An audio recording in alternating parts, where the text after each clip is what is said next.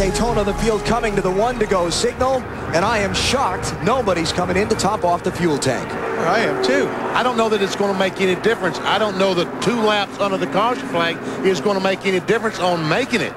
Well, some of the guys in the back of the field think it is. Terry Labonte, Jerry Nadeau, Joe Nemechek, Geoffrey Bodine are coming in to top off the gas. But all of the leaders have stayed out. Jeff Burton and uh, Kurt Busch, two of the Roush cars, ran 61 laps on a tank of fuel earlier, Bill. Yeah, Alan, uh, the guys at the back have nothing to lose, as you know, by coming in. But here's the deal up front. It's just so difficult to pass. A lot of these guys are willing to take the gamble that there will be another caution or that, A, they'll all make it, or B, they all will not. Some of the Fords seem to think they can make it. Some of the Chevys and the Pontiacs aren't too sure. Matt? Bill, that's exactly the same case down here in the 29 pit of Kevin Harvick. I talked to Kevin Hamlin, the crew chief. I said, are you going to come in and go for a gas and go? He says, eh, I'd hate to give up the track position. We're just going to have to wait and see what everybody else does. Well, you know, the Roush cars historically get the best fuel mileage, so they're sitting pretty good right now. And the only thing that's going to hurt them if there's another caution flag, because if there is another caution flag, they'll have to stop and put on four fresh tires because they are so much, the cars are so much better with the newer tires on the car. Dave, what are they saying down in your pits? Well, I'm with Bill Wilburn. He's the crew chief for Rusty Wallace. Now, it seems to me you've been getting about 50 laps out of a fuel run, but you've got to go 59 now. How come you didn't come in and top off? Uh, we just, well, we pitted at uh, 62 to go, and with the caution laps and our fuel mileage has gotten a little bit better as the day's gone on. We've tried to free the car up a little bit. I think we'll be okay. All right, that's a word from Bill. By the way, he's got his helmet and fire suit on. He's still going over the wall changing tires for Rusty. The key word there being think. Just past 350 miles. Oh, Sterling got a good start there, didn't he? Sterling Marlin leads. Kevin Harvick is second. Jeff Gordon is third. Kurt Busch is fourth. Elliott Sadler is fifth. Rest of the top 10 are Bill Elliott, Ward Burton, Rusty Wallace, Michael Waltrip, and Ricky Rudd. And now Sterling has the lap car of Robert Pressley between himself and Kevin Harvick and Jeff Gordon. Is that going to make a difference? Oh, or will that bite him if they all line up and go by? 32 cars on the lead lap after 350 miles. 11 different leaders, 16 lead changes today. And we've just wrapped up the fifth caution of the afternoon. Bill, talking a lot about strategy. What do you hear? Well, here's the deal, Alan. When, before that caution came out, a lot of guys were looking at going 55 laps. So I did a random survey down here, and the feeling was you really wanted to be inside that 55-lap window to be sure you could make it. In fact, I asked crew chiefs, if you stop with 55 to go, can you make it? And I got a lot of, yeah, I'm really sure, I think. And now they had to stop earlier than that. So it's going to be a real gamble for some of these guys coming down to the checkers if it stays green. Yeah, yeah, and that's the big if. That's the gamble that a lot of the crew chiefs are betting on, that it won't stay green to the finish. Look at the run Kevin Harvick has. He's got a great run on Pressley. With help from Jeff Gordon, he goes by that lap car. Robbie Loomis, Jeff Gordon's crew chief, looking on, plotting his strategy. Two-time 500 winner in third place. And you don't have a chance when you're a lap down. I mean, basically, these guys, you don't exist if you're a lap down in this race. They don't want to run with cars that are lap down.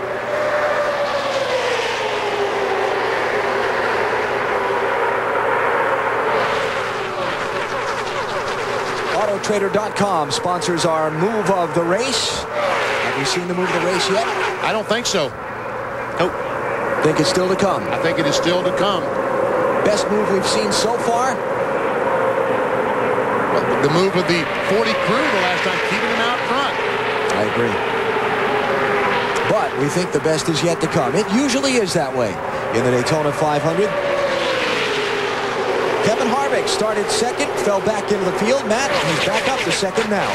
Well, he's on the move, but the biggest concern down in this 29 pit, Allen, is fuel conservation. Jerry Haley, Danny Lawrence, and Kevin Hamlin have poured over the computer, then walked away, walked back, looked at it again, walked away because it still didn't have the answer they wanted. How much do you think one tenth of a gallon would cost you today, and how much do you think it would be worth? Uh -oh. One tenth of a gallon could cost them million dollars. Three, at least three quarters of a million dollars. Winner share of today's race, $1.3 million. But these drivers aren't thinking about $1.3 million. They're thinking about winning the Daytona 500. Or conserving fuel. It, it's hard to conserve fuel. I mean, especially in this deal, you got to keep your foot down. If you start cranking off the throttle to save fuel, you got about 40 guys are going to pass you. Elliott Sadler back in fifth place. He's done a terrific job today. The Wood Brothers car started in 41st position, Dave. And remember, he finished third here in July, last July, Alan. So that 21 car is running very, very well. I talked to Pat Tryson and his crew chief. They're a one-car team. I said, well, who do you think will work with you? Because Pat told me they needed help. Well, he says, we hope the guys who build our motors. Those are the Roush cars. And they've been running very well as well. Talk about Elliott Sadler finishing third in the Pepsi. Adrenaline is an amazing thing. As he came down to the checkered flag, he said going in turn three, he got such a rush of adrenaline that he was going to finish third at Daytona. He started trembling, just shaking, going in turn three and shook all the way to the checkered flag. Wow. Not like he's not an excitable guy anyway. But this place can do it to you. Bill Elliott, haven't talked much about him. Sixth place for that nine car. Two-time Daytona 500 winner. Bill, solid run. Solid run and a 14.5 second pit stop last time. Came in 12th and moved to the front with the help of that pit stop. Was a little bit tight, made the adjustment, but the thing here is the nine car may be half a lap shy on fuel. That'll hurt. Coming up on the three-quarter mark of the 44th Daytona 500, Sterling Marlin is out in front seeking a third win in the Great American Race.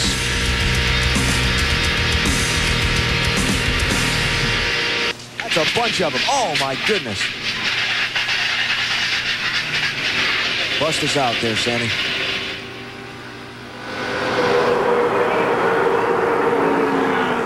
At Daytona, a massive accident down in turn one has claimed at least 15 cars. It started up toward the front of the field. You see the carnage scattered in the corner. Matt Kenseth, Johnny Benson, Ricky Rudd was in it. Oh, look at that. Kenny Wallace, John Andretti, Casey Atwood. Is that Jeff Gordon? Can't see. I don't think so. I think Jeff Gordon. I think that Kevin Harvick spun. I think that Jeff Gordon was able to get underneath him. I don't know that for sure. Kenny Wallace car is on fire, but he's quickly out of the car. Todd Bodine's car there, just barely visible on the left of the screen. Looks like everybody's window nets are dropped Yeah, down. Gordon made it through.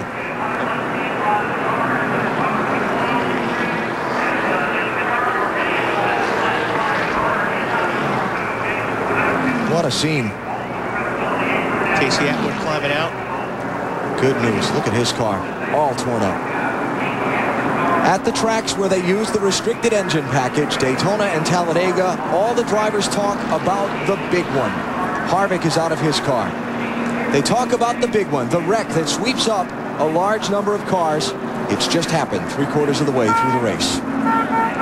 Yep. Jerry Nadeau damaged in it. He's just driven back around to pit road. There's Bobby Hamilton. See the Hans device he's getting off his neck, the head and neck restraint.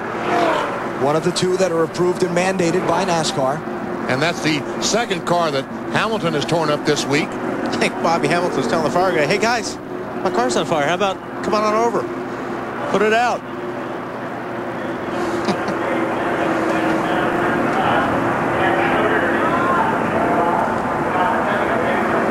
Sixth caution of the 500. And it was a big one. Let's take a look at what happened. There's Kenny, Kenny Wallace. out of the car, yep. All right, Jeff Gordon and, and the Kevin Harvick make contact going down in turn one. And there we were talking about throwing the block, and that looks like what happened. And the first four or five cars get through, and then about the seventh or eighth, I don't know, about the, wherever the 43 car of Andretti, that was the next car to hit. And after that, there's no place for anyone to go. That's right, the track just becomes completely blocked. So take another look. See the, well, that's kind of a little bit afterwards, but See Harvick slide back up. How did Ward Burton get through that? Wow. And all those guards on the inside. And then the hole closed up. Add Jeremy Mayfield to the list of those involved, the 19 car.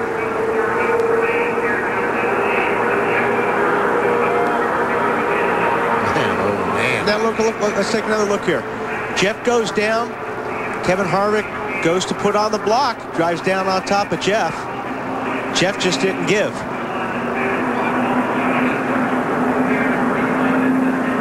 Or if he try if he tried to get out, he didn't get out in time. Yeah. One of the two. Andretti, a hard lick. Oh, wow. You know, same thing happened in the qualifying race between Tony Stewart. Is that Schrader caught up in it too? Yep. Schrader got a piece of it. Folks, just watch this and listen as you're part of the big one.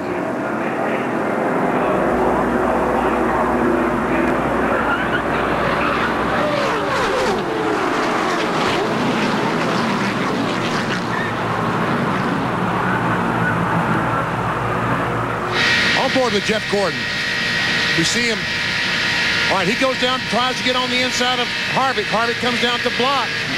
They make contact. Ricky Rudd, let's ride on board with him.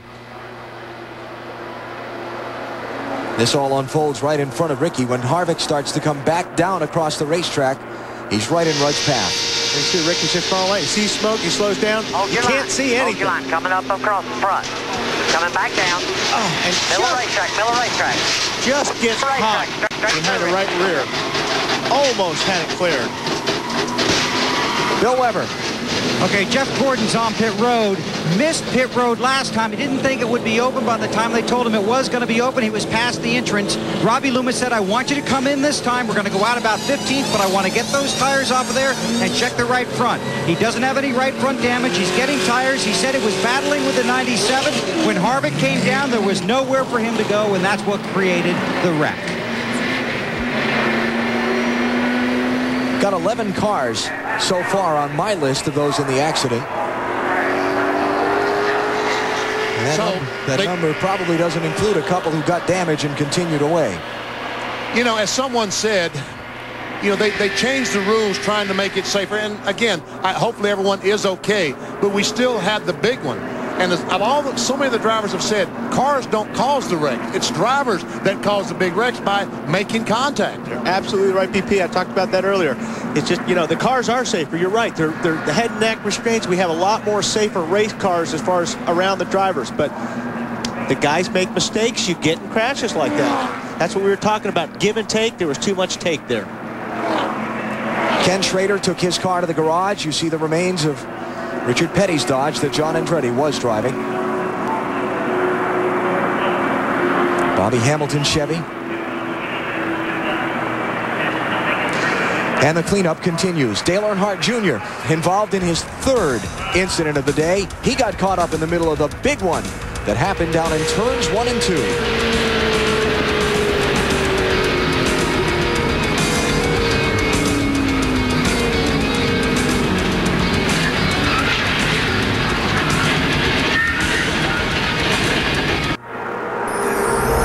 Continues in turn number one after the big one. 16 cars damaged in an accident, and the inside of turn one at Daytona looks like a junkyard. Hmm. It all started when 24 of Jeff Gordon and Kevin Harvick, the 29, made contact. There you see Harvick gets bumped from behind by Jeff Gordon when he goes down to block Jeff. They make contact. He goes across the racetrack. And then along comes Andretti, and all of a sudden the racetrack is blocked. There's no place for anyone to go except into the wreck, and there's where they go. And we talked earlier about the little mirrors guys are putting on the, the roll bar on their left side of the car and blocking and how that applies to these rules in this kind of racing. And you got to do it. I mean, that's what you have to do. You've got to use those mirrors. Here we got on board with Kevin Harvick. He moves down to block Jeff. Jeff just catches him in the left rear, and that's all it takes. We heard the lights out when he backed the thing in the fence.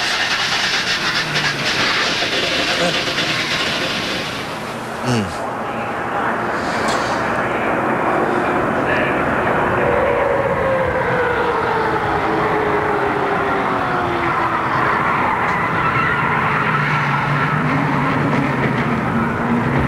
Robby Gordon and Geoffrey Bodine down through the grass.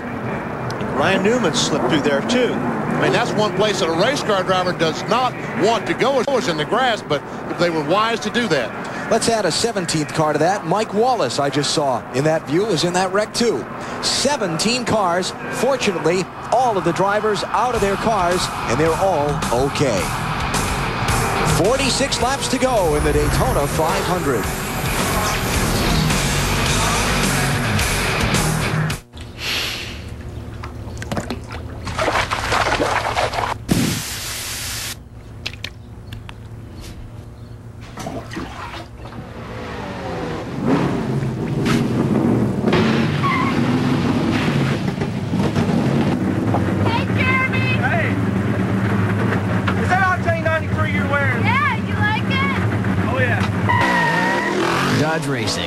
It's overpowering.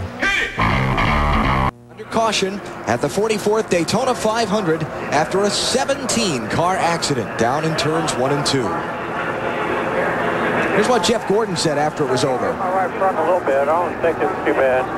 I mean, he just totally tried to block me. I didn't even, I wasn't even really trying to get up there. That damn 97, the wild man, and I'm trying to block him, you know, and the, the 29 had a run, and he decided to come down. Big mess up there. We're going to have to come get four tires on the thing, I think, Jeff. Well, there you have it. I mean, we talked about the blocking, and, and that's exactly what happened. Marty Snider. Well, Ricky Rudd had a very good view. First of all, Ricky, what was your view? What did you see happening in front of you? And how much blocking is going on out there? Uh, I really couldn't tell what happened, Marty. We'd been up front there, and we came in on that last pit stop, and I had a little miscommunication. I couldn't find the pits like I needed to, so we came back out. We were about 10th when the wreck happened. And uh, couldn't see what happened. I, somebody had turned sideways, hit the fence, come back down. I, I drove to the bottom trying to miss it, and he hit me in the right rear quarter panel, turned me head on in the fence, and it was pretty much over after that. I really couldn't tell what happened. It was pretty wild out there, pretty typical restricted plate racing. A lot of blocking going on. Uh, yeah, too much probably, yeah. All right, Dave Burns has Kenny Wallace. And Kenny Wallace has walked out of the care center. Are you okay? Yeah, I'm fine. You know, first of all, I just want to thank Pennzoil and DI, you know, but uh, guess everybody wants to know what the hell happened, right? Oh, yes, please. Had a big wreck, and, um, you know, it's Daytona and Talladega. You know, the same thing happened last year. 50 laps ago, we were all going for it, and uh, I was shooting a three wide up the middle, and they just, uh, I guess, Harvick and Gordon got together. Did you see your, the fire in your car? Oh, yeah. I mean, uh, you know, I was just going low, hoping I could miss Harvick, but I T-boned him, and uh, I was bursting into flames. I told my wife it was a fiery crash. It's a bad deal, I know it is, but what are you going to do? Little E's in there laughing. He says the first big crash he's ever been through in his life. I'm not happy. He's trying to cheer me up, but I think the only injury I had was to my helmet, just pulling the plug. There's more famous drivers behind me. Get some of them. Well, and that will be Kevin Harvick walking out here in just a second. Thanks, Kenny. We're glad that he is okay. And we'll have Harvick when we come back. Alan? All right, Dave. Got uh, the ranks of the contenders thinned considerably by that crash. Now just 18 cars on the lead lap. Back here at Daytona, we have caught up with Kevin Harvick, who was in front of Gordon when the whole thing started. And Kevin, looked like you were trying to hold your position. What happened? Well, I mean, there's 50 laps to go in the Daytona 500, and everybody's uh, trying to fight for everything they've gotten. And uh, I thought there was enough room, and I must have just come down and caught the nose of Gordon's car. But uh, after that, it pretty much all hell broke loose. You hit the wall hard going backwards. Are you okay? Yeah, I'm fine. Uh, that was that was the least of the licks. I think there was four or five more after that. So, uh, you know, I just hate it for this Goodwrench team. I mean, we had a chance to win the Daytona 500, and now we got a pile of junk. What would you do next time? Same thing. Did you get a clear call from your spotter to come down? No, I mean there was it was obviously I I, I don't know if everything was happening so fast, but uh, there was no clear, there was no anything. It was just you know it was just back and forth, and, and there was a lot of things happening. So uh, I looked in the mirror and, and, thought there was enough room, and he couldn't hit me very far up on the bumper, and it was just enough. I mean you're out of pretty much on the edge, of out of control. It's just close racing. And in the end, your fault or Jeff's? Well, right now I want to pinch his neck off, but I don't know whose fault it is. I haven't seen it yet. All right, he's going to look at the tape. He'll get a definitive answer when he sees the tape roll. Alan? Okay, thank you. Back under green with 100 miles to go when they come to the start-finish line. And now we have a lap car of Ricky Craven between Sterling Marlin and Kurt Busch. And Busch trying to get by, finally gets a run on the outside. And I think that Elliott Sadler, the 21, nine-car Bill Elliott, I think all those guys are going to go with him and put Craven behind them. Six of the leaders did not stop on that caution. Sterling Marlin, Kurt Busch, Elliott Sadler, Bill Elliott, Rusty Wallace, and Mark Martin did not pit. The other lead lap cars did. These guys felt like they could not afford to give up that track position. We've seen it all day long. It's so hard to pass the leader. Sterling Marlin feels like that these caution flag laps running around the racetrack at reduced speed has given him enough fuel to finish the race. Elliott Sadler trying to get a push from Bill Elliott, third spot. And not too many guys have passed Sterling today. No. a lot of cars involved in that big accident.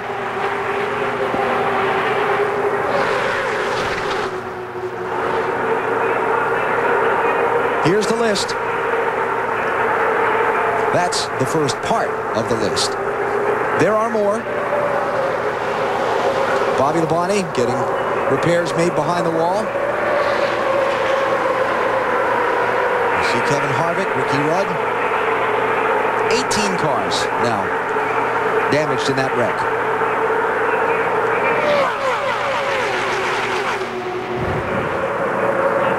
Michael Waltrip trying to make his way back up.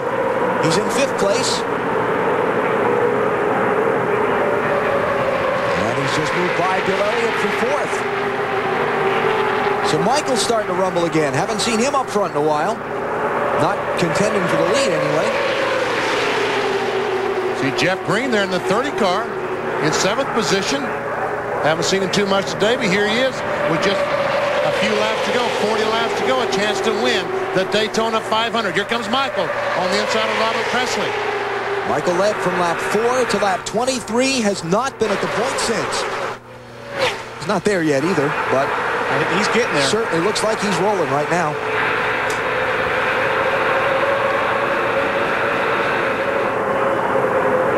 Elliott Sadler to block. Lap cars mixed in there. Now the three wide going in the corners. Elliott goes by Ricky Craven on the outside. Oh, Here's he's Kurt battle for the lead. Kurt Busch with a look under Sterling Marlin. The 23-year-old from Las Vegas is going to lead the Daytona 500 at the stripe. Yes, sir. Clear, clear, clear. Isn't it just Jeff Gordon a little bit ago saying the wild man, talking about Kurt Busch? Yeah, well, there, and there's no patience like we talked about. There's a guy that has a good race car, and you could see him the last couple laps, kept looking down and round and got Elliott Sadler to go with him. Matt Yocum.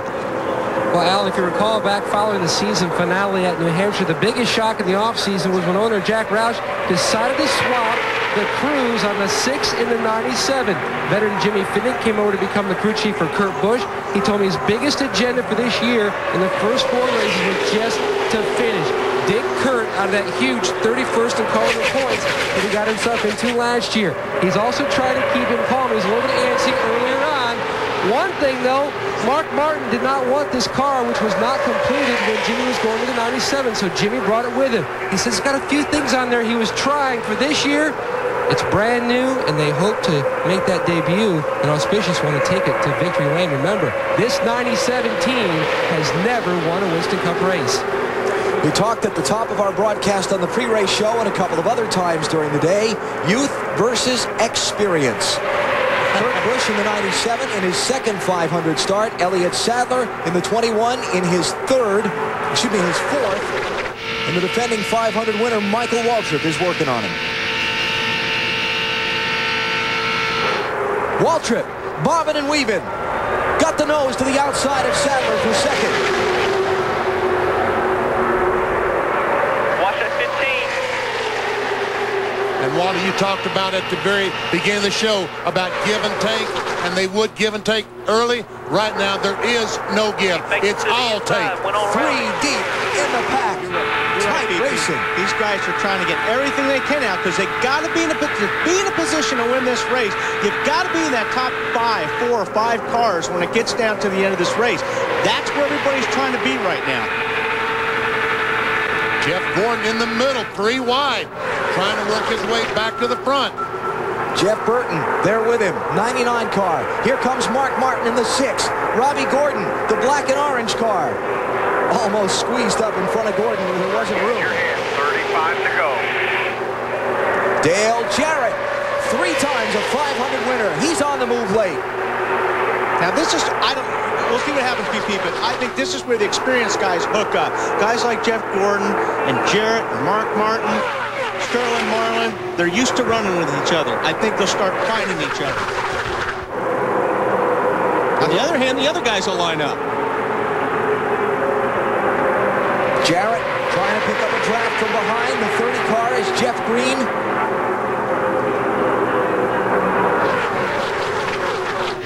Ahead from Robby Gordon's car.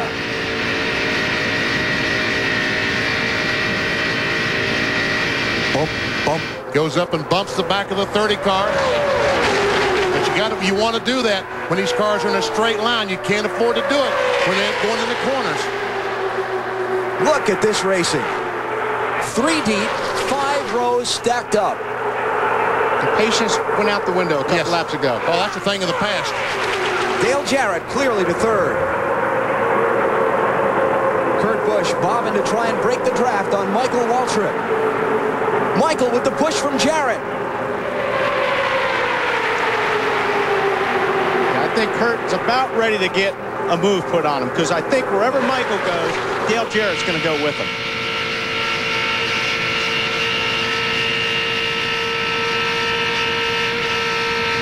Kurt Busch is getting set up, isn't he? Yeah, I think he is. You said it a minute ago, Wally. The older guys are going to work together. You've got Michael Waltrip and Dale Jarrett. Many years experience at this racetrack. Lined up behind Kurt Busch in his second Daytona 500. And you know Jeff Gordon's going to go where Michael goes, where Dale Jarrett goes, and where Elliott Sadler goes because he wants to get by that car of Kurt Busch as well. He also wants to stay with the Chevys. That's something they've been talking about on the radio. Gordon definitely wants the Chevys to try and hook up together. That would be Michael Waltrip in a Chevy, Gordon, and then behind them, Jeff Green and Robby Gordon. But even though it looks like Michael's setting up Kurt Busch, yet no pass for the lead. Here comes Elliott Sadler with a push from Jeff Gordon. Dale Jarrett getting shuffled back. And Jarrett said, man, how did this happen? that was not part of the equation. Mark Martin.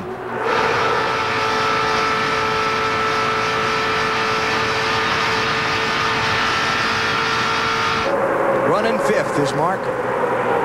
Here comes Sterling Marlin. He's trying to get a push by Jarrett from Jeff Green and Robby Gordon. And Jarrett loses a couple more spots. And they're trying to get by that 97 car BP, but just like you said, it's hard to pass. Michael might have a run now coming off turn four. Nope. I thought he had the nose under the 97 car. Couldn't quite make it. Ooh, Rusty Wallace squeezing in front of Robby Gordon.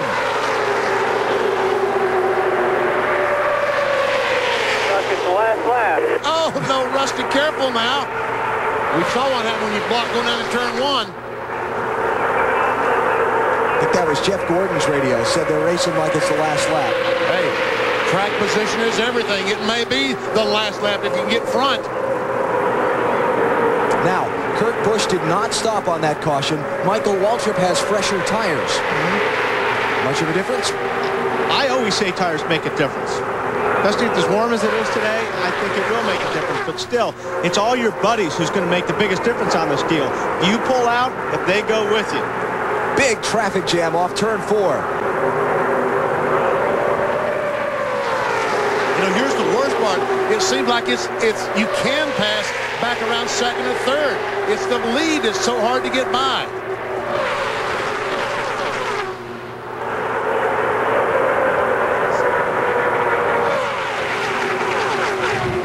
Boy, Michael's trying everything he can. And here comes Jeff Green goes up, almost gets in the wall on the backstretch. As Kenny Schrader said, that's a stupid place to wreck in the middle of the backstretch. Nice the road's save. straight. Nice save by Jeff Green. Jimmie Johnson, the pole sitter. Still on the lead lap, 12th spot. Here's Geoffrey Bodine, the 09 car, right behind Jimmie Johnson. Is Jimmie Johnson's car loose or what? Does he have a... Almost looks like he's got a tire Oh, going trouble. down. Johnson hits Jeff Green. He's in the grass. I I think he had a tire going down there. If he didn't, he does. Keeps it off the wall. Left, rear's flat. Left rear tire's flat. Okay, bud. Caution's out. Seventh one of the Daytona 500. And sets a critical decision in the hands of the crew chiefs. Do I stop? Take those tires. No way. No one is going to give up track position now. No one. Some cars farther back, not on the lead lap, trying to race their way to the start-finish line. No one will succeed. And we go under the yellow flag once again. Careful, Jimmy. Something, something was loose before that. I just thought it was the air. Something's up on her back of this thing. Yeah, Jimmy, the left rear tire's flat. Yeah, you can watch here. I was watching right through here, right there in the bottom. You see his car just starts getting a little bit sideways. He was losing the left rear tire. And right about here, it really went, probably that's where it dropped down on the inner liner. And is that Jeff Green that does a tremendous job What in saving try. that car? Yeah. Oh, Johnson goes up and turns the Jeff Green car sideways, and somehow Jeff Green keeps it under control. Nice save by Jeff. That was his second save in a lap, right? Yeah. Yes. On board with Jimmie Johnson and Lowe's car. Listen. Third. Hang on, buddy. No, don't worry. He's hanging on. You have to tell him that. I did that. Let's go on board with Bill Elliott and watch this.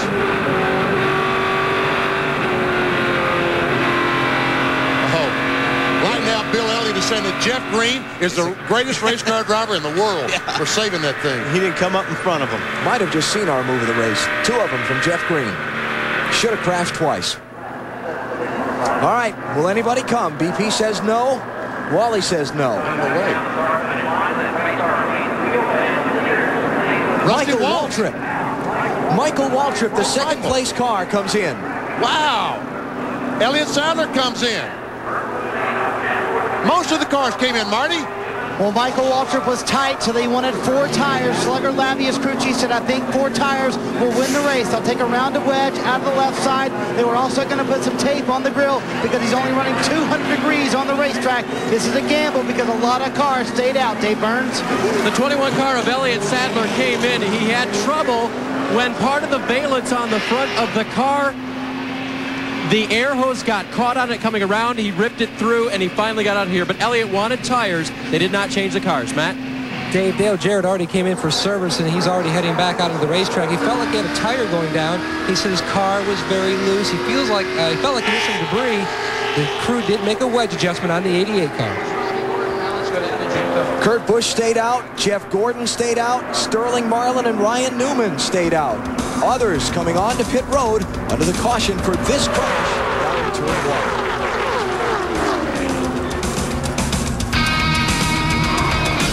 Here's our Pepsi race recap. What's happened so far in the Daytona 500? Just two laps in, one of the favorites to win, Tony Stewart. Engine broken, day done. And then Dale Earnhardt loses the right front tire. He gets back on the racetrack, is involved in a crash later. This is Brett Bodine, lap 101, just at the halfway point of the race, getting tagged and spun. He gets away with it okay. And then Shawna Robinson in 49 and Mike Skinner make contact off turn two. Big story of the day. Kevin Harvick and Jeff Gordon tangle racing for second. By the time it's done, 18 cars are involved in the melee down in turn one. All the drivers okay, but it started because of blocking. Harvick trying to defend his turf on Gordon. They both wanted the same spot of racetrack.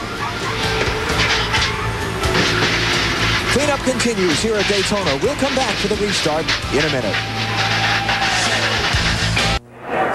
Back at Daytona, there'll be 24 laps to go as they come to the green with Kurt Busch, the 23-year-old from Las Vegas, leading the Daytona 500 in just his second try. First four on the track, and that left-hand lane did not stop for tires.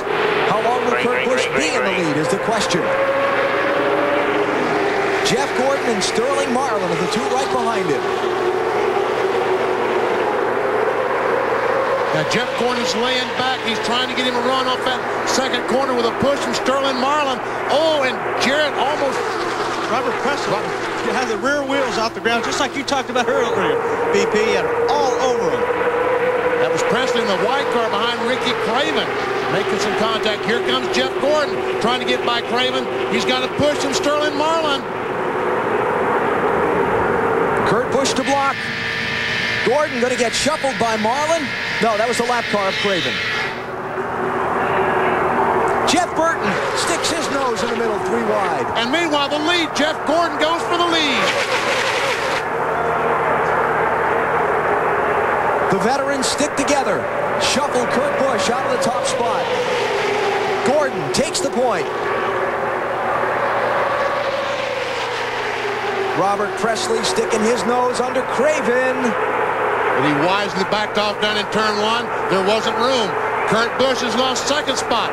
He's got in a battle right now with Ryan Newman for third. So they got the lap car of Ricky Craven behind him to push. His only shot now is to get up there in between Mark Martin. He slides up and does it. Ward Burton to fourth. Haven't talked about Ward much all day. Started 19th. He's run kind of mid-pack for a lot of the event. Missed the wreck. That helped.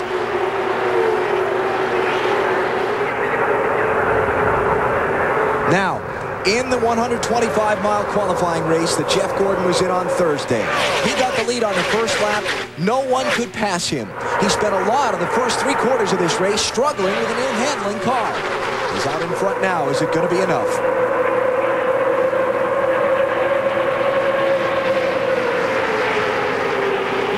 There. Last car in that five-car breakaway. Never won here at Daytona.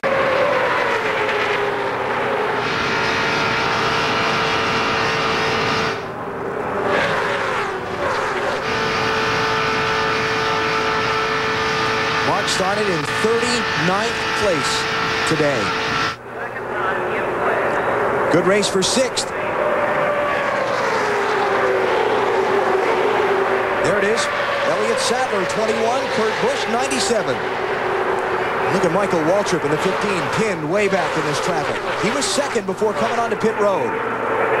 And Kurt Busch is one dejected little puppy right now. Boy, Michael went up the middle. He gained a spot on Robby Gordon there between turn one and two. He's still in the middle. Trying to force his way to the inside. Dale Jarrett said, uh-uh, that's my spot. Here comes Rusty Wallace on the inside of Kurt Busch.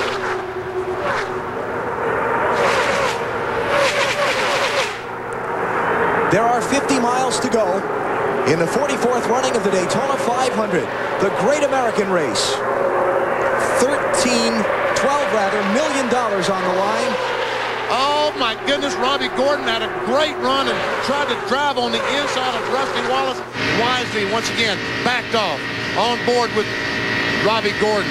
Finally, Michael squeezed down there. Boy, I guarantee you, he was frustrated those couple laps. He's got a good car, stuck in the middle. You need to get in that high line or low line. And he wants to go. Better hurry. 20 laps, not a lot of time to catch that lead group. Just tuning in, it's been a very exciting race so far. 18 lead changes among 11 drivers. Caution flag has waved on seven different occasions. The big story was a multi-car wreck involving 18 different drivers at the three-quarter mark of this event. Jeff Gordon out in front trying to win the 500 for a third time. Sterling Marlin right behind him in the 40 car. Ditto trying to win the Great American Race for a third time. Behind him, they are frantically scrambling to catch. Got to stay in line if they're going to catch that lead group, BP. Guys are all scattered out side by side, and that's exactly what those top five cars want to see in their mirror. These guys are all trying to get themselves in position, but in trying to get themselves in position, they get farther away from the leader. Let's check with some of the crew chiefs in the lead cars. Here's Bill Weber. With crew chief Robbie Loomis, the leader for Jeff Gordon. Your car's been tight all day. Now you're out front. Can you stay there? Well, you know, we don't know. Just Jeff's a great drafter, and he's up front right where he wants to be. We've got a long way to go. We just got to see what happens here. Did you learn enough in the qualifying race to help you in this situation, Robbie? We learned a lot, and uh, right now we're just all kind of holding our breath. Pit crew's done a great job all day getting him out front there, and we're just going to see what happens. For defending Winston Cup champions, they'd like to start 2002 with a win in the Daytona 500. To Matt Yocum. Bill, Lee McCall is Sterling Marlin's crew chief. First off, you didn't pit to take on fresh tires. How bad is that going to hurt, or is your car better on older tires? Yeah, our car's pretty good right now. We were a little bit better uh, on old tires, got the car freed up, so, uh, you know, we were good on fuel mileage, so we we wanted to stay out and hopefully, uh, you know, gain some track position because, you know, track position's pretty tough right now, and, you know, we're we're wanting to set pat right now and try to break, break away from the second group. Uh, Coors Light Dodge has been good all day. Lee McCall trying to win his first 500. Sterling Marlin, his third. Marty? Matt, how much will experience mean? Young Ryan Newman up front as crew chief Matt Borland. Matt, he's gotten there. Can he pass two more cars? Uh, I don't know about that yet, but uh, we're, we're uh, real happy with where we're sitting right now. A top five would be great for us. Uh, if we got something for him at the end, we'll try it, but uh, we'll just ride for right now. Inexperience behind the wheel, but on the radio, experience. Former Daytona 500 winner Buddy Baker is his spotter, along with his car owner, Roger Penske. Today, Burns. Ben Leslie, the new crew chief for Mark Martin, has been studying his monitor like a chessboard. All right, you gave him two right side tires. Does he have a move he can make? Boy, you know, I don't know. Um, the talent that Mark has, I'm sure he's got something up his sleeve. What it is, I wouldn't have a clue. Um, I'd just like to take the time to thank all the hard work that everybody at Roush Racing, Viagra Ford Taurus has done. This week and a half has been a little bit of a struggle, and everybody's pulled together. And hopefully we can come out of this with a real good run. Well, they're going to watch, and about all they can do is wait. The only thing he's told them in the last few laps on the radio, what lap he's on. Alan? Ward Burton, also in the top five, running fourth. Bill Davis Racing Dodge. He's been in contention to win this race on several occasions, but bad luck has befallen him near the finish every time. What about today? Elliott Sadler trying to make a move on Mark Martin. He's trying to follow that 22 car. And Ward Burton's getting a move on Ryan Newman. Coming with you. He gets the push from that 21 car, goes alongside Ryan Newman. Oh, man. Third place.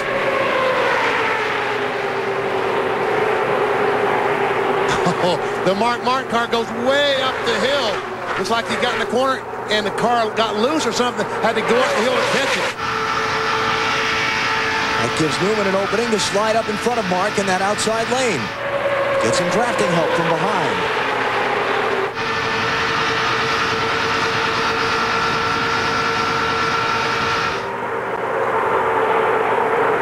Somebody who made the gamble to come onto pit road under that last caution was Michael Waltrip. This has not worked out for him. He's all the way back in 14th place. How about Ward Burton, Matt? Well, I'll tell you what, Alan, if you watch Tommy Baldwin Jr. down here, each lap, it's like he's almost driving the car with Ward, very animated on top of the pit box. I asked him about 60 laps ago when he's running mid-pack, are you guys okay? Because they were anticipating a very stout piece for this race. He says, oh, yeah, we learned our lesson last year. We led 53 laps, we were crashed out running fourth, so we knew just to save our stuff until the end, because that's when all the big money takes place. Look at Geoffrey Bodine in the 09 car. The 1986 winner of the 500, who many thought's career ended in a vicious crash here at Daytona back in 2000. Only got five races this season that he's going to run in this car, but he is showing he can still get the job done. This car is owned by James Finch, and after the Budweiser shootout, they dyno tested, chassis dyno tested a lot of the cars, and James said, hey, how about putting my car on there? I want to see what I have. And the 09 car had more power than any of them. Bodine to fifth. Here comes Michael Waltrip trying to get back into it. Well, Michael's got to make this move. Like he's trying everything he can to make his move now. He needs to get with that top group if he's going to have a shot at winning this race again. Rusty Wallace drives on the inside of the 97 of Kurt Busch. Gets a great run. That's Michael Waltrip. I'm sorry, Michael Waltrip. That Napa thing looks like the Miller Lite thing to me every time I see it. Sorry. Defending 500 winner. Trying to rally back. Got a lot of work to do and not a lot of time to do it. Robby Gordon behind him and the Richard Childress 31. That lead group is starting to stretch it out. Dale Jarrett's pushing as hard as he can on that gas pedal right now. Six car in line right there. 10 to go and they come back around.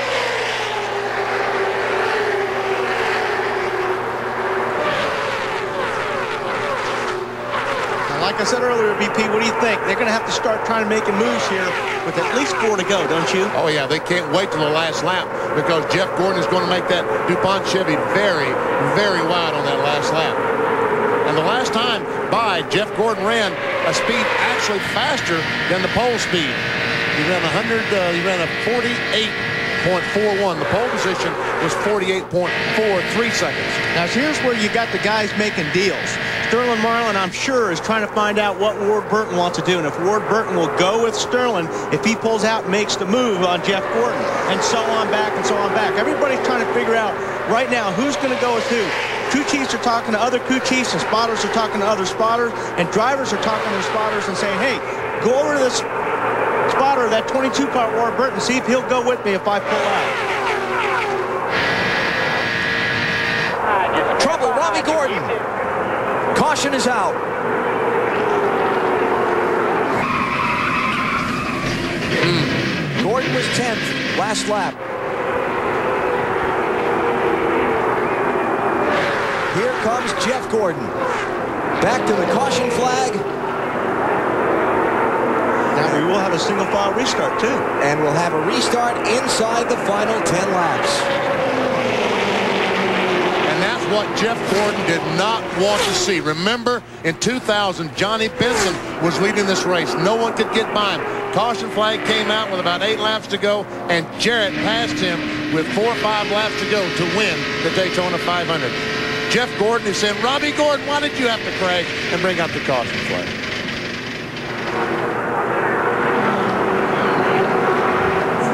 Jeff and Robby, of course, not related tell that by New Hampshire race last year. Yeah, remember they were the ones that were fighting it out with fenders at the end of the last race of 2001. Now, nobody. Nobody. Nobody's coming. Boy, they blew it. We blew it on that last time. Looks like, you remember I talked about earlier, when the cars get real close to each other in the banking, it makes the car on the bottom loose, and I think that's what happened to Robby Gordon. BP, he got up there beside Rusty Wallace. There was not enough air on the back of that car to push the car into the racetrack. Lost downforce and looped it. Watch this. He goes in the corner. Rusty Wallace is on the outside. And listen to this. Listen to the engine. Robby just spun. Robby just spun. Hang on, gas it just backed in wall there. He just uh, spun. 10 2. You all right, bud? On board Bill Elliott. Oh, man, that wow. was so close. That was close. Experience. Look. Oh. and, and having your eyes closed. Now Kurt Busch is coming down pit road. 97 car is in. I guess they decided at four tires that they're going to need four tires to try to make a run to the front. Go ahead, Sean. No, Sean, you got a helmet? Wow. Matt? And they are going to take on tires. Remember back in the Pepsi 400, back in the mid-80s, Alan, Bobby Allison pulled the same move late in the going. With about 10 laps ago, came in for fresh tires and won the thing. And Jimmy Fennig, who won this event with Bobby Allison, remembers that. So they had nothing to lose. Alan? Find out where he restarts and gets set for what should be a dramatic finish to the Daytona 500 when we come back on NBC. The Daytona 500, the great American race, has come down to what will be a final, frantic, six-lap sprint to the checkered flag. Jeff Gordon leads. Sterling Marlin is second, both two-time Daytona 500 winners, but they've got a hungry pack behind them who've never won it before. Ward Burton and Elliott Sadler in third and fourth. Then more experience. The 86 winner, Geoff Bodine in fifth, and Dale Jarrett, a three-time 500 champion, in sixth. And this restart is going to be the whole marbles here. Jeff Gordon's got to be careful that Sterling Marlin doesn't lay back and get a run on him on the back straightaway. You ready? Green flag, green flag. If they don't get by Jeff Gordon before they come around the next time, Oh, they will not pass it. And Michael Waltrip. Michael Waltrip. Jeff Green is Oh. Jeff Gordon spinning down the inside. Gordon is in the grass. They're racing for the lead at the head of the pack, double wide. Stay below the white line. You got some people out there. There you go. Sterling Marlin, he's got damage. He must have hit Gordon. And here comes Ward Burton on the outside. He's got Back to around. run. Track's clear. With Elliott Sadler giving him some help. Here's Geoffrey Bodine trying to help the 40 car. Caution flag is out. This could be the race to the finish of the Daytona 500. You'll see some rubbing here, I'm sure, getting back to the line. This is this may be it. Six cars sprinting toward the caution flag. Marlin inside, seeking his third 500 win. Ward Burton trying to get his first victory. Two Dodges, drag racing back to the caution flag. Who's going to get there first? Marlin by a nose. The whole you. I think what happened was Sterling Marlin went down to go underneath Jeff Gordon. Jeff Gordon went to put the block on, and he went across the nose of Sterling Marlin's car, and that's what spun him out. The race is not over. They're going to red flag the event. They're going to stop the field, restart the race, and try and settle it. And Terry Labonte, a lot of damage to the nose of that car. And with Sterling, can he last a couple laps under the green? And I believe that's where Jeff Gordon came across the nose of Sterling's car. Jeff Gordon on pit road. He may not be out of this yet if they're red flagging this thing, Bill. Jeff Gordon on pit road. The spotter said we got spun, we got spun, the car looks fine. He's getting right side tires. This is supposed to be a four tire stop. They want to get on pit road and get off of it before the red flag comes out. Left sides will go on. We'll have plenty of room to get out of pit road. They tighten the lugs, check the roof flaps, pull the fender away from the front left tire, and send Gordon back out off of pit road. But he came in while the pit road was closed. So he's going to have to go to the end of the line on the restart. We'll double check that to be sure, but the red and the red flag with the gold cross signaling pit road is closed. It is out. now, there's only about uh, There it is. 14 cars on the lead lap. The red flag's coming out. Hey, Jeff, they're stopped back there, so be careful coming off too. The red flag is out over the Daytona 500 with four and a half laps to go. But what? Who did all this crashing on the backstretch off turn two? See the debris off turn two? I think that was pieces still probably coming off the cars from the wreck on From the the wreck on the front stretch. I got you. Wow. That may Our even fault. I mean, Sterling hung back so much there that, uh, I mean, you know, he, I just, I didn't have a choice but to slow down there. And he had a run on me and I blocked him, you know, got myself turned. That's Got myself turned. Yep. Jeff Gordon's explanation. Let's take a look at what happened all over the place. Well, here's what we are talking about. This is the, so key on this restart. Sterling was laying back. Now, all these guys back here are jamming up because some of these guys laid back before the restart.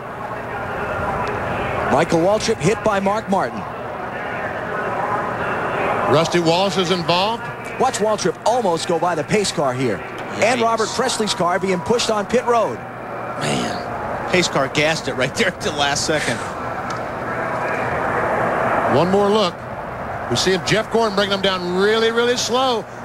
And then they, someone, Mark Martin runs in the back of Michael Waltrip and Now watch here, Sterling Marlin goes underneath the, of Jeff. Jeff goes down, tries to run the black block on Sterling, and runs across the nose. But Marlin was below that yellow line, wasn't he? That's out of bounds. Drivers were told in the drivers meeting, if you go below that yellow line and advance your position, you're going to be penalized. That's right. Will they penalize Sterling Marlin there? there's Jeff Green.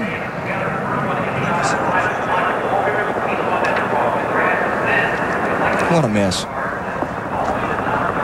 On board with Bill Elliott.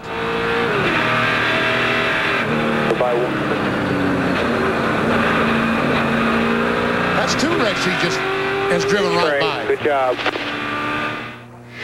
Okay, go ahead, Alan. Now watch the yellow line on the. No, you won't see it. Well, there we will.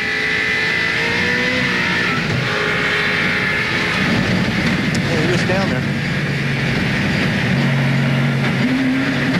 Jeff does a pretty good job down on the grass. You got some people out there. All right, now watch the yellow line at the bottom of the track. See if Sterling Marlin goes below that yellow line. This line here. If you go below the yellow line and advance your position, that's a penalty. Marlin's inside of Gordon. There's the contact. Well, I don't know. He had the, he definitely had the left sides below the yellow line. Now, whether or not he didn't, I don't think the right sides, were, the whole car was ever below the yellow line, but he definitely had the left sides. That's a tough call by NASCAR. It's a judgment call and a very tough call. One more look.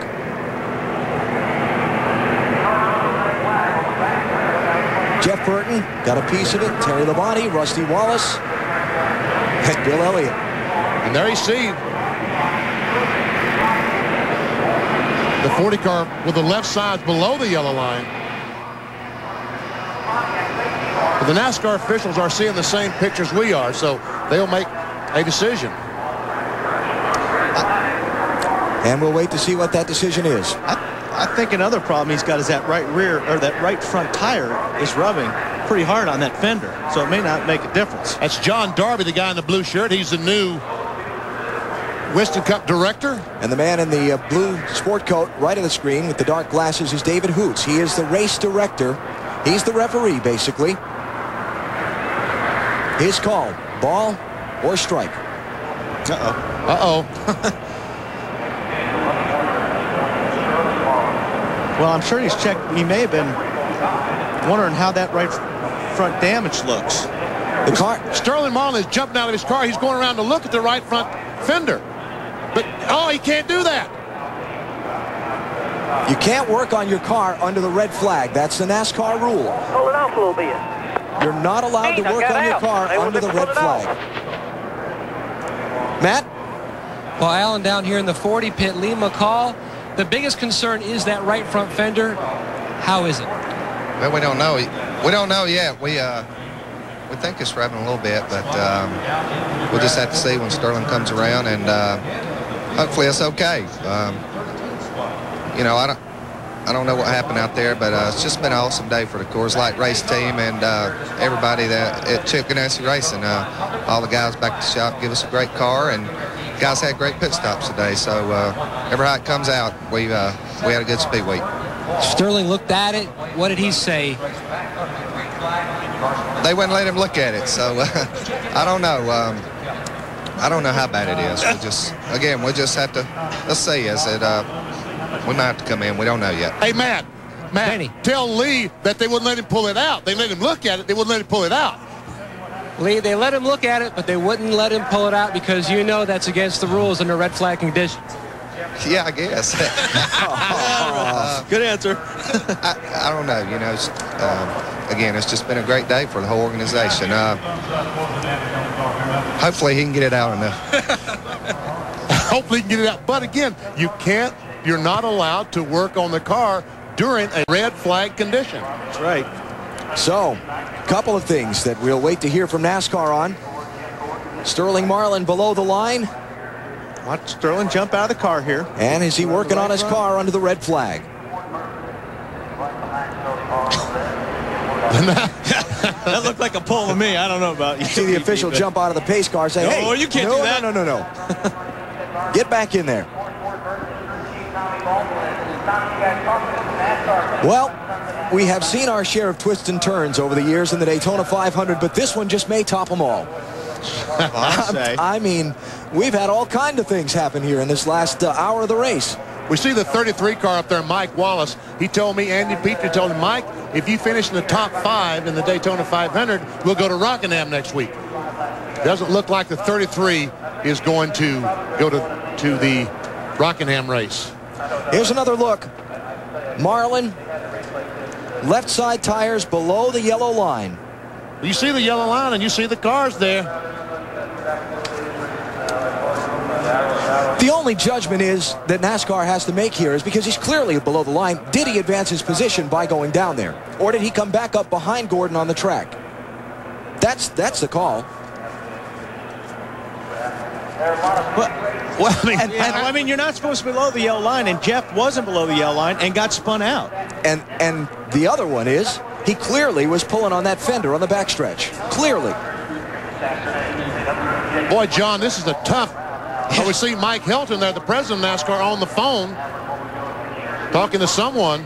That's Mike just on the left of the screen. I hear Jeopardy music playing somewhere. The referees in race control. Talk about getting thrown in the fire, huh, John Darby? Man, oh man, the first race, and look at how tough, what a tough calls he's got to make. Another look at it from Jeff Gordon's onboard camera. There we see the contact, and now we see Sterling clearly below the yellow line, but the right sides never go all the way below it. But see, what might get him off the hook, he's behind him here. He advances his position after Gordon spins. I mean, that might be what they're thinking. There you go. And there you see the contact.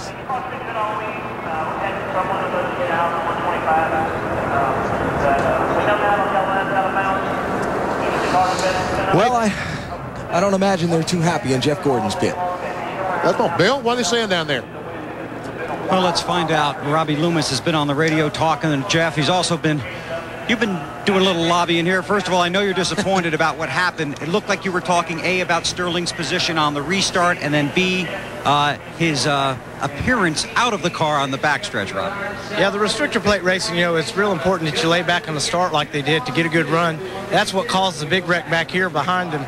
And then uh, when it kind of eased below the line there to turn us, and then he got out to fix it on back straightaway under red. But we'll let NASCAR deal with it. They usually are pretty fair. You know, the rule is you can't work on your car at all under red, and we'll see what they say. So you made your point to the NASCAR official working your pit. What did you see on the monitor, Robbie? Uh, all I saw on the monitor was him trying to get his fender clear, and you know whether the thing will clear. But we'll leave it up to NASCAR. They've been doing a good job with it. We'll see what they decide. Okay, that's the story from the 24 pit. Matt. Well, down here in the 40 pit, Tommy Baldwin Jr., Ward Burton's crew chief from the 22 team, came down and talked to Tony Glover, the team manager. He says, look, God forbid anything should happen to your tire, tell him to pull left out of traffic and we'll go by on the high side. So if you should have some kind of trouble with that tire, if it indeed rubs and does start to go down, pull to the left and we'll go by on the right side. That's not going to work, Matt, because if that tire goes down, the car on its own is going to the right. I'm just looking over there. BP, look over there. Just, I know there's a judgment call over there. You, we don't see any French judges in there, do we? Uh, I don't see any place. We'll be okay then. Should be okay. All right. The officials are talking about it. Trying to figure out what they're going to do. We're waiting to hear. Was Sterling Marlin out of bounds and advance his position? Did he work on his car under the red flag? What's it going to be? Well, I, I it's think we all saw worked him on his pull car the fender red out. flag. Pretty obvious, Al. yeah, we all saw that, so we know he tried to pull the fender away from the tire. Now, the yellow line situation down in turn one, that is a judgment call, and that's up to NASCAR. Continuing to clean up on the uh, front side of the racetrack here, where all the mayhem happened. Was I sleeping, or did you explain what that penalty was under if you work under the red flag? What is the what is the rule? I'm waiting to hear what the penalty would be there. What do you do to him? But I know guys must have worked on the cars on the red before. What, whatever happened to them? They were always sneaky when they did it before. Oh, okay. They were not as clear. And, I mean, there's not as uh, blatant as Sterling Marlin was. They always kind of sneaked around a little bit. Somebody must have gotten in trouble for it. One someday. You know, I don't recall it. Ever? In, in my time on the Winston Cup circuit, I don't ever recall it. Someone being penalized for working on their car under the red flag. So I I have no I, I have no memory of, of that ever happening before. And I just have no memory. I'm, I've got a, in, in my hand a card that uh, they give out to all the, the, crew chiefs and all of the pit road officials, which explains race proceed penalties. And I'm trying to scan down it, and I don't see anything on this particular card about the uh, working on the car under the red flag. So we'll follow up with NASCAR here and find out. We're waiting to hear. Separate from that, it's going to be a most interesting finish. With Sterling Marlin's got the same problem that Jeff Gordon had.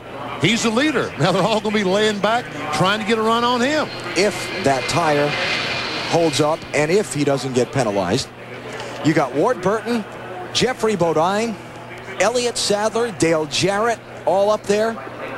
And you're going to have Jeff Gordon storming from the back of the pack on fresh tires. And he's only going to have about three laps to do it. Got Michael Waltrip back in 11th position as well. Here's what they were saying down in the Sterling Marlin pits a minute ago. Sterling, were you below the yellow line when you passed Gordon? He run me down there. My left side was below the I believe. He run me down below it.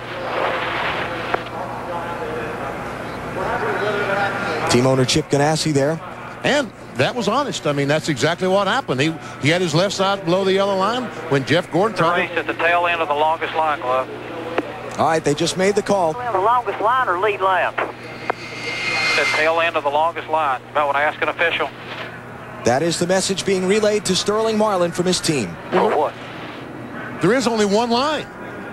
Under 10 laps to go, there's only one line. So he, they're saying that he's got to start all the way at the back of the field. Is that right, Wally? Yep. And, and what NASCAR's determination on this deal with the yellow, yellow line is, since the yellow had dropped, they say that the, what was happening was the 40 car went down underneath the yellow line to avoid the accident. He was not gaining any positions. Okay. He went down under the yellow line to avoid the accident? He went down to the yellow line. When, when the yellow was out, Jeff had checked up. Everybody was slowing down, and they decided that the 40 car went down underneath Jeff Jeff's car. The yellow was already out at this point now, so he couldn't advance his he couldn't advance his position anyway. He could race him back to the yellow. They could race him back to the line. They had taken the green flag. They could race him back to the line.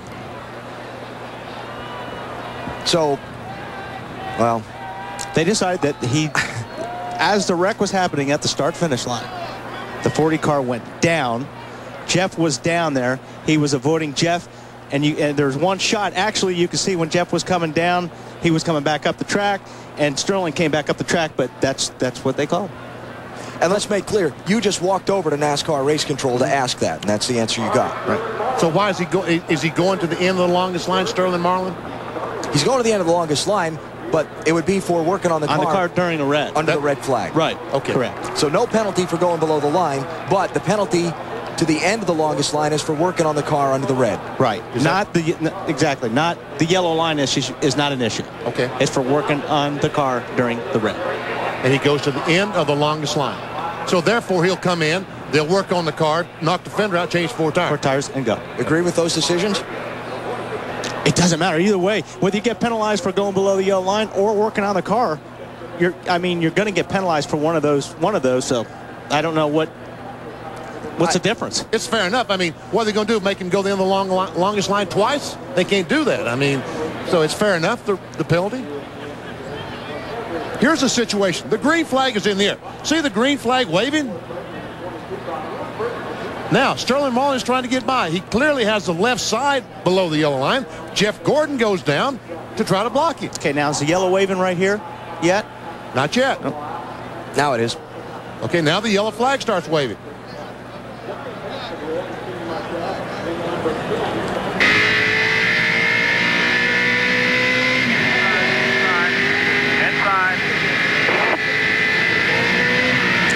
The wreck, I, you know, the wreck was happening a long time that picture, but I couldn't see the flag.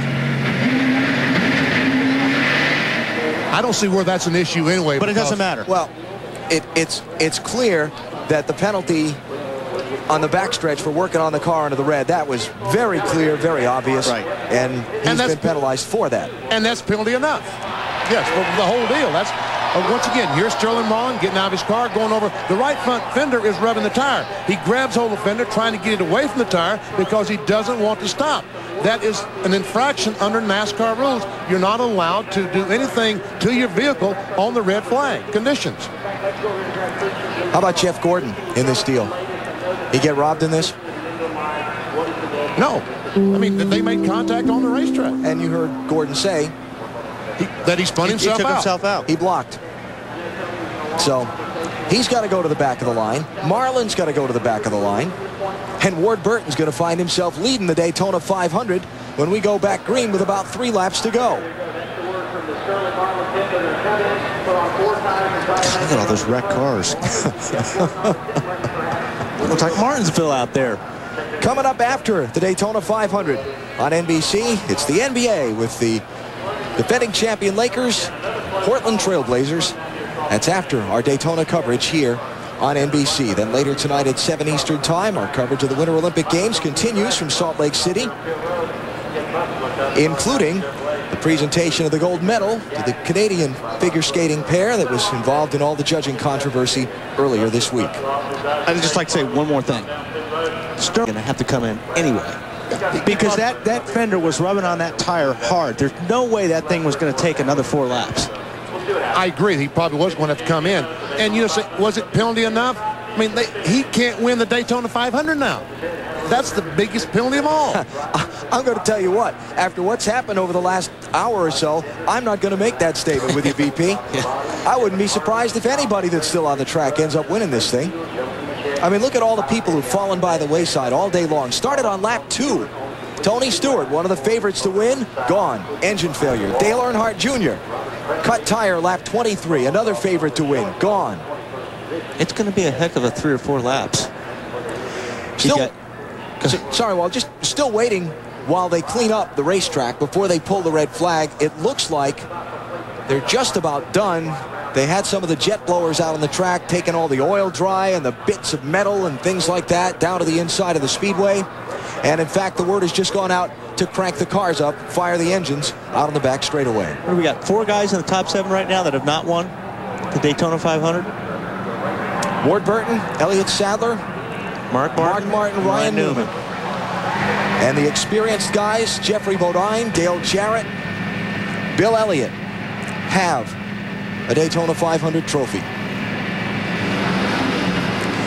Red flag is withdrawn. Yellow flag is now back out. Now you can work on your race car. But you heard when we heard the restart just a moment ago and Jeff Gordon was accelerating, trying to get his car up to speed. Did you hear the big drop in RPMs when he shifted from second gear to third gear? See, that's one problem with the transmissions at Daytona. You have to have such a low first gear mm -hmm. to get you out of the pits. So then second gear becomes too much. You can't have the ratios close enough, and you always have a big drop-off in RPM between one of the gears. In his case, it was between second and third, and he lost all that momentum when he went to third gear. So they're moving now back around toward the front stretch. They'll get the one to go signal when they come to the start finish line, and it will be a three lap race to see who wins the Daytona 500. 14 cars on the lead lap.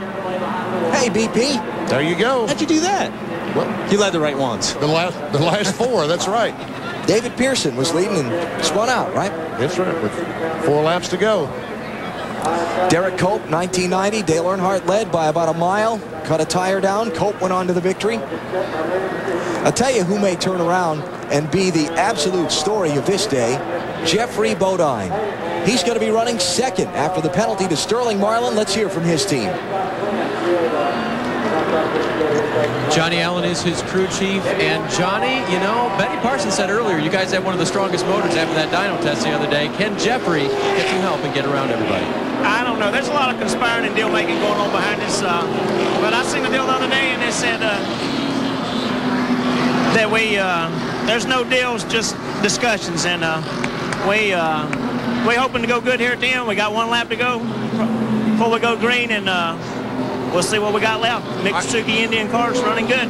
Remember yesterday, Johnny was working on the one car of Jimmy Spencer, and it failed at the end. And, crew, and uh, car owner James Finch, he's gone back to his boat. He's left. If they win, he won't be in victory lane. James, you might want to come back. Marty? Well, Dave, what an interesting day. And if he does win the race, Geoffrey Bodine, has got to pass Tommy Baldwin's driver out there, Ward Burton. What a crazy day. Can Ward keep it up front? A lot of Fords behind your Dodge. Yeah, I was just telling Ward that, you know, but uh, I'm real proud of everybody at this Caterpillar Dodge uh, back at the shop. They've done an awesome job. They put this car where it is right now. And, uh, you know, had a lot of Fords run up front today. Uh, you know, they got a good break with NASCAR, but uh, hopefully we'll come out top. You know, we're real excited right now, and uh, it's time to let it eat. Every man for himself now. Hey, guys, you think we've seen a lot of blocking in the first 195 laps? Watch these last few. It's going to be wild. Three laps to decide the Daytona 500. Ward Burton leads. Geoffrey Bodine is second. Elliott Sadler third. Dale Jarrett fourth. And Ryan Newman is fifth. You'll have also in the mix, excuse me, Mark Martin is fifth. Ryan Newman is sixth. And you'll have Jeff Gordon and Sterling Marlin back in 11th and 12th. Here's what Jeff Gordon said right after the crash. Oh, that was my own fault. I mean, Sterling hung back so much there that, uh, I mean, you know, he, I just, I didn't have a choice but to slow down there. And he had a run on me and I blocked him, you know, got myself turned. There you have it. We are coming to the green. Look at how far back from the pace car Ward Burton is hanging. And look how far Elliott Sadler is hanging behind Geoffrey Bodine, all trying to time it right to get that run, that great run that allowed them to go by. Three laps to settle the Daytona 500. Well, it looks like they got a run on them. Look at the blocking going on back in the pack. And look, someone's got a great run on the outside. Ryan Newman, the youngster from Indiana in the 12 car. And this is exactly what Ward Burton needed. He needed those Fords to get side by side, and it's working to perfection for him. Johnny Benson in the 10 car up high, try to follow Newman. Jeff Gordon and Marlin not in the picture yet. He's got to be careful, though, BP, when this group catches him. Here comes Dale Jarrett behind Geoffrey Bodine in the 88 car. And Elliott Sadler's moved into that second spot, right on the back bumper of Ward Burton. The first two have never won the 500. The second two have won it four times between them. Two laps to go as they come to the start-finish line. Marlin has caught the pack. Jeff Gordon is back from it. Check that. That's Craven. Gordon has caught the pack too. I think Ward Burton has his car up to speed now. I think he's going to be okay. I think you're right, BP. These guys aren't close enough and lined up enough to make a move on Ward Burton.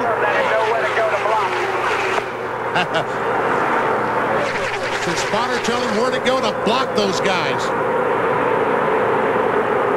The traffic mixing and shuffling behind him. But Sadler and Geoff Bodine not able to mount a charge yet.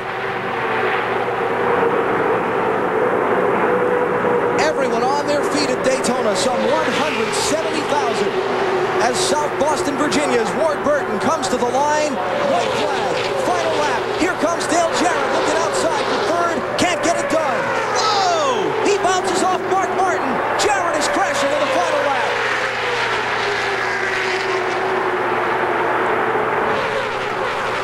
Everybody gets by him okay. Elliott Sadler in the 21, the Wood Brothers car. Left to try and chase Ward Burton to the checkered flag. And if Elliott Sadler was shaking, finishing third in the Pepsi 400, just imagine what that young man is going through now, about to finish second in the Daytona 500. Got ready to faint. I'm telling you. Eighth two times is his best previous finish in the 500. Now in his eighth try at the Great American Race, it's going to be Ward Burton driving his Dodge to victory lane. Checkered flag is up, and Ward Burton is going to win the 44th Daytona 500.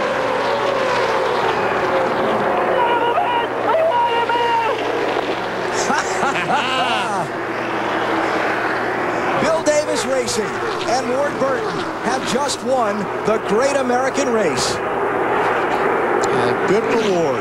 Talking to Ward Burton, said, what's been your biggest thrill in racing? He said, winning the Southern 500 in Darlington, South Carolina. Old race, my family was there. I guarantee you, he'll change his tune now. Oh boy, are you are you kidding? Not anymore. This is it. The last time Dodge won the Daytona 500 1974 with Richard Petty. Ward Burton never led all day until those final laps when he took the lead from Sterling Marlin. Matt? And Tommy Baldwin and the cat guy is going crazy down here. Tommy, you moved south in 1996, sacrificed everything in an old Cadillac. You had no job. And now look, Daytona 500 winner. Does does this reality match that dream, Tommy? You told me you dreamed of this win. Oh, man, I tell you, this is for my little boy back home in Long Island who's uh, stuck this out without me being around for some years. And uh, hope he's proud of me today. And, uh, you know, everyone at Caterpillar and the Dodge, I want to thank everybody, all the BDR guys, man. We won the Daytona 500. Enough said. The cat guys are going to celebrate tonight. Bill Davis, the team owner from Arkansas, one of the most respected and well-liked men in the NASCAR Winston Cup garage. Bill Davis, Gail Davis, one of the nicest people in the garage area. And he's going to have a Daytona 500 trophy on the mantle. I talked with Ward Burton earlier this week. Said he'd spent so much time this winter crisscrossing America on fundraising trips. Spokesman for the Wildlife Foundation, among other things. He said, I'm ready to go racing. I think I can win the Daytona 500. He's done it. BP, what's that ride like? Oh, man. There's no words to describe it. As a matter of fact, Ward Burton right now probably has to take this lap, this extra four or five minutes, just to get some kind of control over his emotions. All the firemen come out congratulating Ward Burton. This is a very, very emotional moment.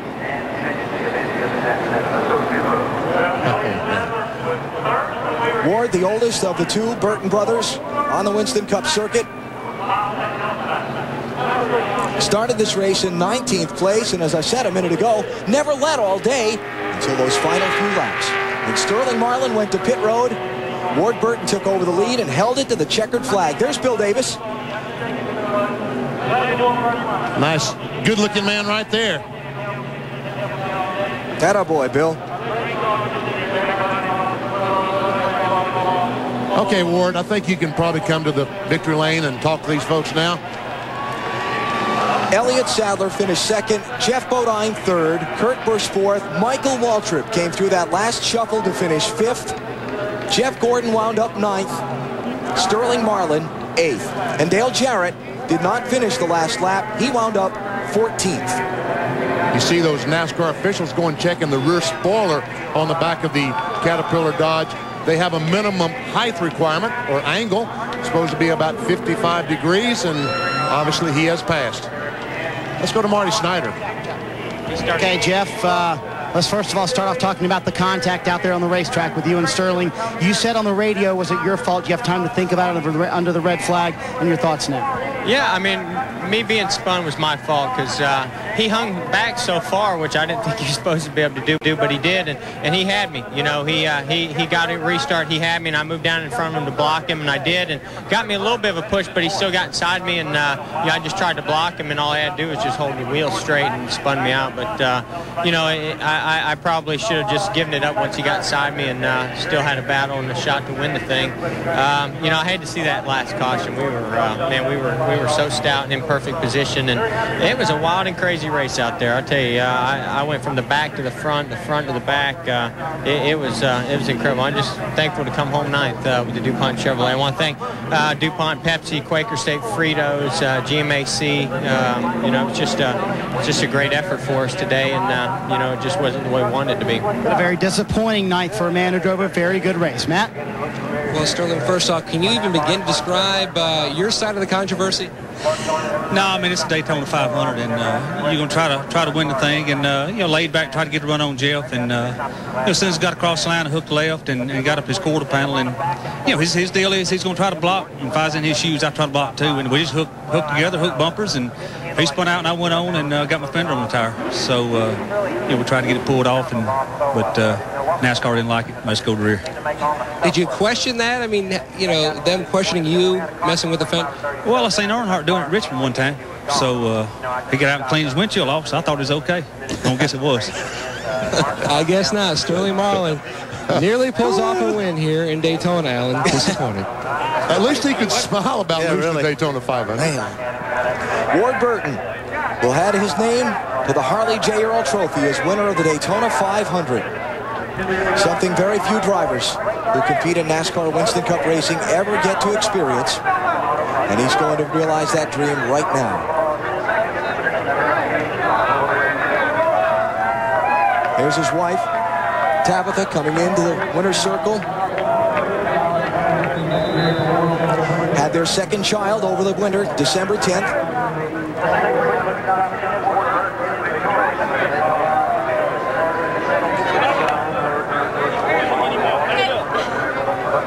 They're ready for you. He's just slowly taking his time because he wants to do this right. And Savor the moment. Savor the moment. Not a boy. Ward, just savor the moment. Can't blame him. Probably still regaining his composure a little bit, too. Bill Weber has the pleasure of interviewing the winner of the Daytona 500. Bill? And I imagine he's doing exactly what you guys were talking about. Taking his time, composing himself, thinking about this moment, winner of the Daytona 500. Putting on the cap, have to adjust that, of course. It will be a, you won't need to see him get out. No matter where you're watching, you'll be able to hear him get out. And here it is, the 2002 Daytona 500 champion, Ward Burton.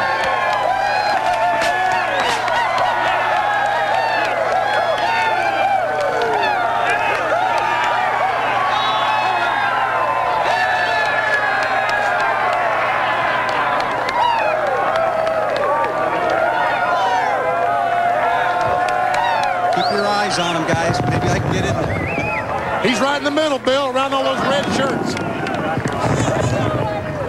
A lot of people from Dodge, Caterpillar, and his family. Forever now, they will introduce Ward Burton as champion of the Daytona 500. Congratulations. Wow, I tell you, I didn't do it by myself, though. Uh, team worked awful hard all winter. Dodger support, Caterpillar support. How about that Elliott Sadler? I pushed him to a third place finish in the uh, Firecracker 400, or the Pepsi 400, and Elliott worked with me just flawlessly there at the end. And one Virginian to another. Ward, tell me about the final restart to the checkers. nerve-wracking. I didn't ever even look at the flag. I wasn't going to stop. When I saw the other guys back off, that's when I backed off. I can't believe it. You know, a lot of a lot of what happens here is atmosphere, luck. Uh, we had some luck today. 29 cars spun over there. We almost got it. But uh, proud of my team. Great race team. You walked it very slowly to the green flag on that restart because you were aware of what had happened previously? I was aware of Geoff Bodine. He's an old veteran. He knows what he's doing. I just didn't want him to get a big speed on me. I wasn't sure whether we were going to win it or not. I knew we were going to have one hell of a chance at it. Ward, you fought so hard to get to this point, this point in your career. There were some times when this team wasn't even going to have sponsorship. Now you have a strong sponsorship, a new manufacturer behind you, and a win in the Daytona 500. Has your dream come true today? Well, one of them has. This is the first year that Bill Davis Racing hasn't had to make make a big change of some kind to catch up to the big boys. So we're ready to rock all year. I don't know what was going to happen today, but it's a great way to start. But I feel really good about the whole year. Congratulations. You're the Daytona 500 champ. Ward Burton, even I get a hug. Congratulations. They talked about Chevy being fast and Ford was in the spotlight all week, but at the Daytona 500, you could say Dodge was the spoiler. Alan? Yes, you can, Bill. Dodge getting a spoiler rule change earlier in the week as well as the Fords. And Ward Burton made maximum use of it. He is the champion of the 2002 Daytona 500 as we look at the final results. Ryan Newman in seventh spot. Geoffrey Bodine. How about that third place finish? And Jeff Gordon, Sterling Marlin, they crashed together. They finished eighth and ninth together. Michael Waltrip finishing fifth after last year's win. You see only 14 cars wound up on the lead lap. Dale Jarrett getting credit as the last one of those. Terry Labonte, one of them involved in that last crash with about five laps to go. Mike Wallace, seven laps down, will finish 21st. Kenny Schrader, great run today. Dale Earnhardt Jr. So many problems throughout the day, wound up 29th place. And this, the attrition was unusually high today. Matt Kenseth, the first car out, finishes 33rd. I guess attrition was caused by the big crash down at turn one. That would cause some of it. Tony Stewart, one of the pre-race favorites, out at lap number two. 12 different leaders, 20 lead changes. The last one when Ward Burton took over the top spot. More post-race interviews when we come back. The NBA on NBC coming up after our coverage from Daytona. The Lakers and Trailblazers coming up. First, the afterglow of what was a terrific Great American race. Dave Burns. Elliott Sadler, you finished third here last July, and you were shaking coming to the line. What were you doing this time to finish second? I was a little bit more calm, but uh, I'm going to tell you what, to struggle like we have all week, to come in here and finish second, unbelievable. Man, the Motorcraft Ford Taurus was very, very good. Just want to thank them for them standing behind me. A lot of Ford people in the stands today, the U.S. Air Force. Man, it wore me out, man. It's... And he takes a cold sip of Coca-Cola, Marty, to cool off. Well, Dave, for a man who nearly lost his life here two years ago, Geoffrey Bodine was a comeback kid today. How much fun did you have playing out there with those kids today? The car was obviously good. Yeah, I had a great car, and it doesn't matter who you are, how good you are. You can't do what I did without a good car, a good team, and and uh, James Finch uh, gave me a, a, great car, and I want to thank them, thank the Miccosukee Indian Gaming Tribe for sponsoring us. They're going to do some more racing with them, and uh, what a great day. I mean, it, it, it, got a little tough there at the end. I mean, we're all trying to make deals and try to figure out how to get by the guy in front of us, but I, I knocked my nose in a little bit on that last wreck, and it slowed us down, but uh, come back, yeah. You know, I think people had, had written me off, but uh, they shouldn't have done that. I'm back. 52-year-old Geoffrey Bodine finishes third. Matt Yocum. Defending 500 winner Michael Waltrip Boy, how do you describe this one? Wild. I think I just tell people I spun out with five to go at Daytona and ran fifth, and that's all the description it needs. When Kevin wrecked, that was wild, man. I just dove right at him. I knew what to do, and I just hoped he'd be out of the way when I got there. He was. Our Napa Auto Parts Chevrolet was a part of the story the whole week, man. And that's all you can ask for. That's all you can ask for as a team. NASCAR would chop the other dude's spoiler off. We'd work a little harder. Then they'd chop it off some more, and we'd just work harder. then they chopped it off again. Probably should have said something after that one because it looked like we were overmatched at the end. You probably should have. Michael Waltrip finishes fifth at Daytona, Allen. Again, a look at the top 10 as the victory celebration continues. For Ward Burton, Elliott Sadler and Burton, a Virginia sweep of the top two spots. Don't forget, tonight, the 2002 Olympic Winter Games continue at 7 Eastern and Pacific on NBC. And tomorrow at noon Eastern and Pacific on TNT, the encore presentation of the Daytona 500. The NBA on NBC is next. What a great day. What a great race. Fantastic day. What a thrill it was to be here and watch and talk about the Daytona 500. BP, let's go fishing for a few months. It's good. See you in July, fans. We'll turn it over to our Fox colleagues starting at Rockingham next week, and we look forward to NASCAR on NBC resuming in July. Daytona's always been a magical place. Last year, the magic went out of the 500 a little bit, but this year it's back. And the fans have all gone away smiling after a safe and a great Daytona 500 won by Virginia's Ward Burton. For Benny Parsons, Wally Dallenbach, Bill Weber, and our entire NASCAR on NBC crew, I'm Allen Bestwick. Hope you've enjoyed our coverage of the 44th Daytona 500. See you in Chicago come July.